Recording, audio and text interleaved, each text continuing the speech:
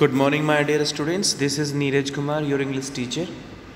Today I am here to continue chapter number 9 A bicycle on, in good repair. So, here I continue. I hope you will be listening to me very carefully. He said, This is dangerous. Have you got a hammer? Author के दोस्त ने कहा कि ये बहुत ख़तरनाक है। Have you got a hammer क्या तुम्हारे पास एक हैमर है, हथौड़ा है?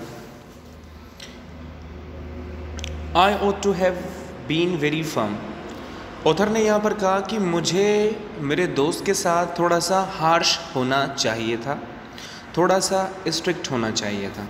बट आई थॉट लेकिन मैंने सोचा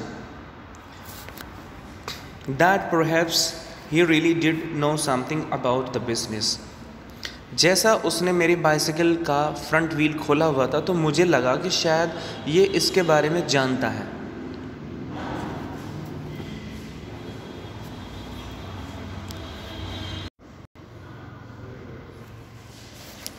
I went the tool shed to see what I could find मैं एकदम तुरंत उठा और मैं एक टूल शेड के पास गया, वहाँ से कुछ अरेंज करने के लिए। Means whether I find any tool from there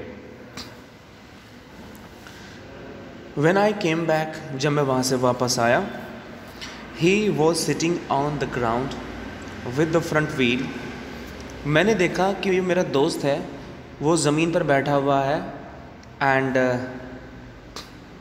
with the front wheel between his legs और अपने उसने, अपनी टांगों के बीच में उसने फ्रंट व्हील को रखा हुआ है। He was playing with it वो उस फ्रंट व्हील के साथ खेल रहा था।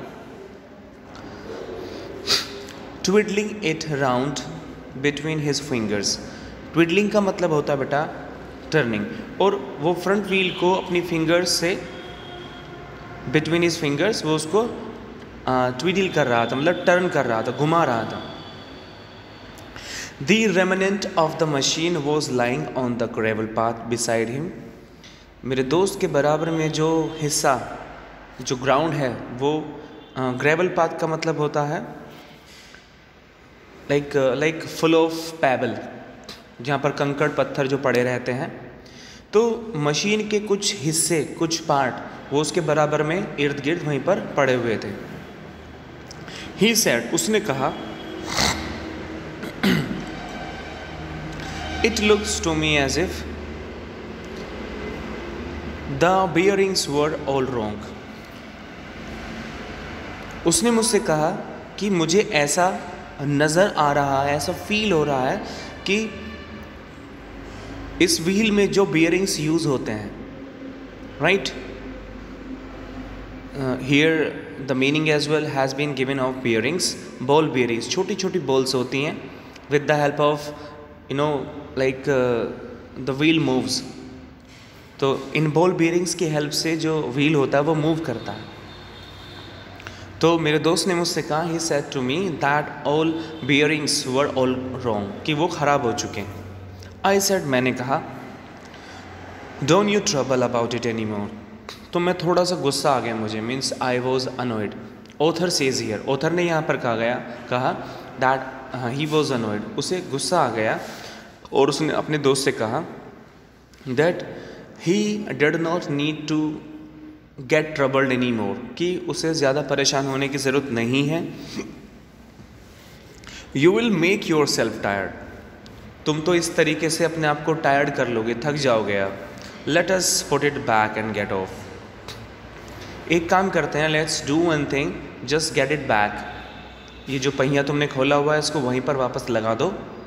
Right now let us move ahead he said उसने मुझसे कहा we may as we may as well see what is the matter with it now it is out अब मेरे दोस्त ने मुझसे कहा वी मे सी देखो, हम यहाँ पर देख सकते हैं कि जो फ्रंट व्हील है वो बाहर है राइट right? इसके साथ कुछ प्रॉब्लम थी। It had some problem that is why it is out इसी वजह से ये पहिया, ये व्हील बाहर है। He talked as though it had dropped out by accident वो तो मुझसे ऐसे बात कर रहा था, मेरा दोस्त, कि जैसे ये जो फ्रंट व्हील है मैट विद इन एक्सीडेंट किसका कोई एक्सीडेंट हो गया है and because of that it had problem उस व्हील के साथ कुछ प्रॉब्लम है. It like according to him it wobbled ये वोबल ये मतलब वोबलिंग कर रही है. Before I could stop him, he had unscrewed something somewhere, and out rolled all rolled all over the path some dozen or little balls. तो मैं उसको रोक ही भी मैं उसको रोक भी नहीं पाया मेरे रोकने से पहले उसने क्या काम किया कि जितने भी स्क्रू थे वो सब उसने उसको लूज़ कर दिया उसको बिल्कुल उसके वो जो स्क्रूज थे वो सब निकाल दिए और जितनी भी बोल्स थी वो सब यहाँ वहाँ चारों तरफ़ वो फैल गई।